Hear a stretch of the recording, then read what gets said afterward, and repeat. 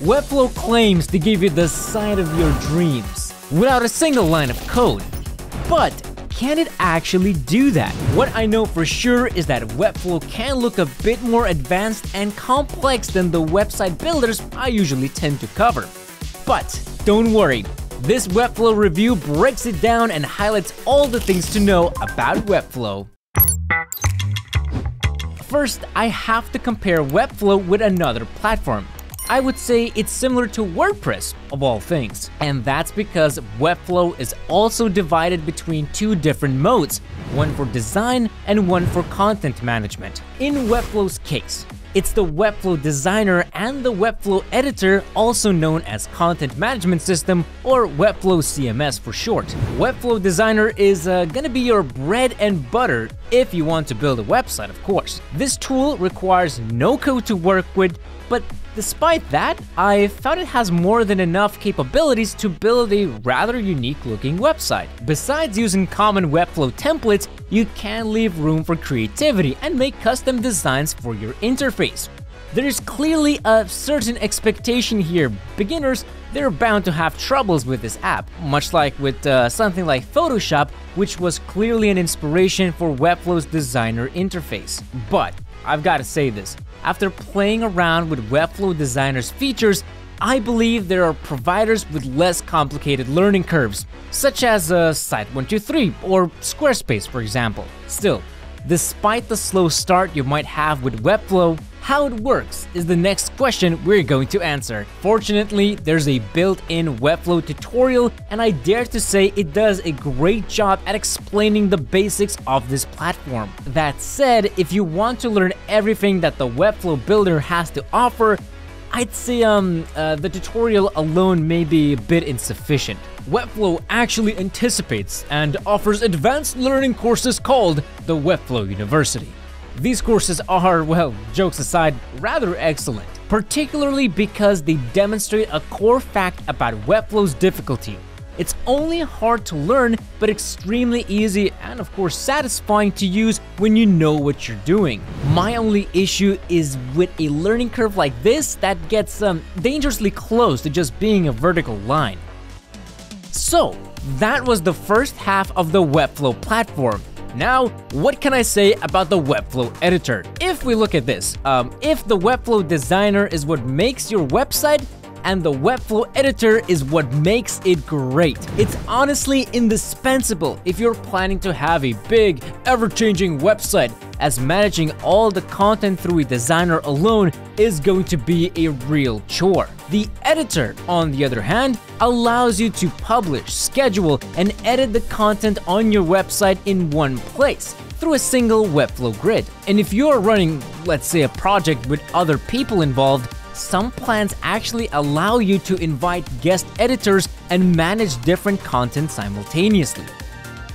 With these capabilities available for every user, what kinds of websites can you actually build with Webflow Website Builder? What I would say is that uh, you're actually not really limited and you can build a variety of different websites. But in my experience, Webflow remains perfect for more experienced users who already know a bit about making money from their site. But I do prefer Webflow as an e-commerce option on the account of Webflow Editor being such a convenient tool to manage both products and inventory in a rather satisfying simplicity. Webflow allows you to sell both physical and digital goods, and of course, uh, you can also set up multiple variants for existing items, and managing inventory and shipping is simplified down to the single click. All the benefits of the best web tools, you know. And if you're looking to run a successful Black Friday deal or something rather similar, Webflow allows you to set up limited discount campaigns, whether you are looking to limit the duration of discounts, for example, or the number of people that can use coupons. Talking about payments. With Webflow, you can accept payments from over 200 countries. And that, of course, also includes paying through credit cards, Apple Pay, Google Pay, PayPal, all that jazz is within the options you can choose. Starting with the Plus plan, Webflow won't even enact any transaction fees. Marketing and SEO are also made easy with Webflow. Just the built-in options include a lot of features you can play with to ensure your business is functioning as intended. This is further enforced by Webflow allowing you to use compatible third-party add-ons and software. That said, I'm not sure I would recommend Webflow if you are deeply involved in analytics as the platform itself doesn't have an in-house analytics option, like for instance with uh, other platforms like Squarespace, which offers quite extensive analytics options. Instead, Webflow will encourage using Google Analytics, and I'm not gonna lie here, it's not always the best option to consider. In-house solutions are bound to give more comprehensive e-commerce data than something like Google Analytics, on account of it being a third-party solution in this case. To continue my thoughts with some of the downsides, I don't see Webflow being very successful for small e-commerce projects. The advanced e-commerce plans get very expensive, especially compared to the competitors like Zyro and Squarespace. To make matters even worse, the platform itself is exceedingly hard to pick up, and just starting up your business may be too arduous of a process to justify the result. So, if you are looking for, say, a more beginner-friendly e-commerce platform, I recommend Squarespace. Amongst the website builders, it's the one offering all necessary e-commerce features while not asking for a lot of effort in return. Perfect for beginners. And since I've now touched uh, rather briefly upon pricing of Webflow, let's cover it in detail as well. First things first, the free stuff. You can get the starter plan for free, but as far as website plans go, it's uh, extremely lackluster. With other website plans, you will be able to make more. More blogs, more business landing pages, more portfolios, all that stuff without having traffic and security limitations of the free version. No Webflow ads on your page as well, which is always a great deal. Getting a website plan will currently cost you from around $14 to $39 per month depending on what plan features you are looking for.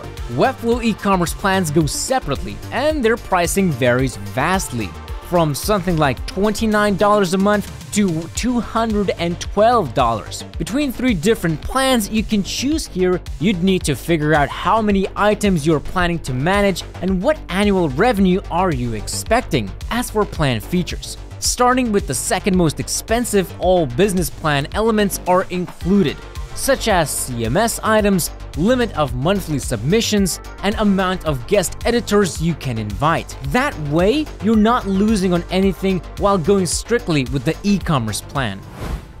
And if you'd like to see more videos like this one, sub to the channel and check my hosting playlist. I've gathered uh, quite a bit of reviews there that you might want to check out. At the end of the day, Webflow is still a good, fairly advanced platform, especially focused on e-commerce. While it can be used for other stuff, comparing Webflow versus WordPress, Zyro or Squarespace, it becomes apparent that Webflow might overcomplicate the website building process for someone who is new to the game. You gotta really get into website design to make Webflow worth it. Otherwise, I think you're just better off sticking with an easier option to make things work for you. That said though, if you need an advanced option that needs no code, Webflow is a great website builder to try out. And that's gonna be it for this Webflow review. What do you think? What kind of experience did you have with Webflow? Do you think it's just the right amount of advanced or way too complicated? Leave a comment and let me know. Thanks for watching and see you all soon.